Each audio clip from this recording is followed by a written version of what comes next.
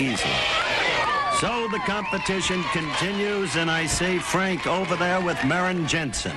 Maren, you're just as calm and cool and collected. Uh, you're not nervous at all? No, not one bit.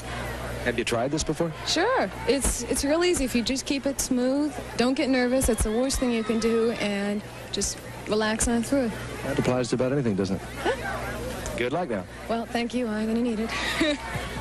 Pretty girl. She's not going to need a lot of luck in her career. It began in much the same way as Patty Klous's. She's been a model in the past, but right now, one of the stars of Battlestar Galactica, playing the role of Athena. It's the name of a Greek goddess, and she almost looks like one, together with Lorne Greene and Richard Hatch. And she likes to tell about how the whole thing feels when she's on the set. I think the most intriguing thing is seeing the show once it's all put together because we, the actors, don't do the whole thing. We are only a part of the whole. And seeing the effects, and I get real excited when I'm out there flying a plane and I see it jetting through space. And yet when I'm doing it, you know, it's just right there on the old stage. So that, that's exciting. It is. I mentioned that she plays the role of Athena, and it's a perfectly appropriate name for the young woman who looks like a Greek goddess. And there she is with the headband ready to start in the race, Giff. And the Greek goddess is in trouble, Howard. She's in against Brianne Leary. There's Brianne Leary in the far lane. Now, we know she's a good athlete. Runners ready. Ready to go. They're off.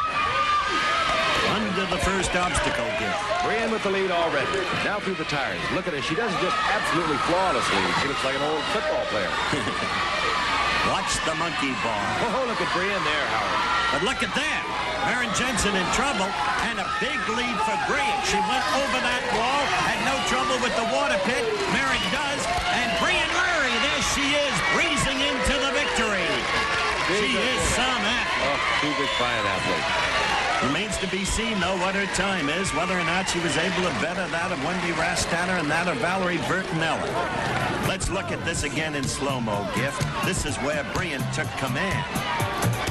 Right there. Yep, that's where Maren died. Nope, we just got the times. Brianne Leary's time, 26.40. Maren Jensen's 32.85. Rastatter and Bertinelli are the leaders.